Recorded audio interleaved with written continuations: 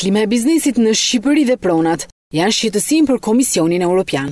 Përtej nismave ligjore të qeverisë për të afruar investitorët e huaj dhe për t'i dhënë zgjidhje çështjes së pronave, KE vijon të ketë rezerva për të dyja çështjet. Shqetësimin e ka ngritur vetë drejtori i përgjithshëm për zgjerimin në Komisionin Europian, Christian Danielsson në takimin që pati me presidentin e Republikës, Bujar Nishani. Siç njofton zyra e shtypit, Danielsson u shpreh se Komisioni Europian do të vazhdojë të investohet në Shqipëri dhe se pesë prioritetet janë plotësisht të qarta.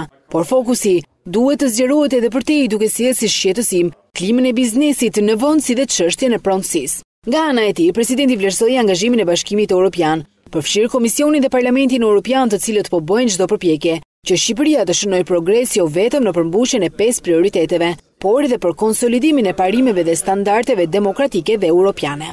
Kreu i shtetit theksoi se kryefjala e suksesit të reformave në vend është gjithëpërfshirja jo thjesht dhe vetëm në optikën e ngushtë partiake, por duke përfshirë ekspertizën më të mirë vendase dhe europiane. Në kuadër të vizitës në Tiranë, Për përparimin e Shqipërisë në pesë përparësitë kyçe drejt Unionit, Danielsson është takuar edhe me kryetarin e Parlamentit Ilir Meta, kryeministrin Edi Rama dhe kreun e opozitës, Lulzim Basha.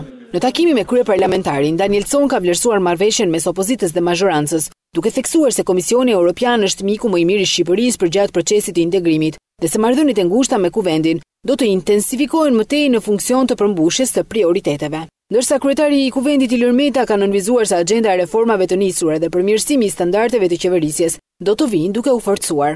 Ndërsa kreu i opozitës e ka shfrytëzuar takimin me drejtorin e përgjithshëm për fqinjësinë dhe negociatat e zgjerimit pranë Komisionit Europian për t'i shprehur shqetësimin për rritjen e kriminalitetit në vend dhe depërtimin e krimit deri në nivelet më të larta të qeverisjes, kryetari i Partisë Demokratike vlerësoi se dekriminalizimi është proces jetik për vendin.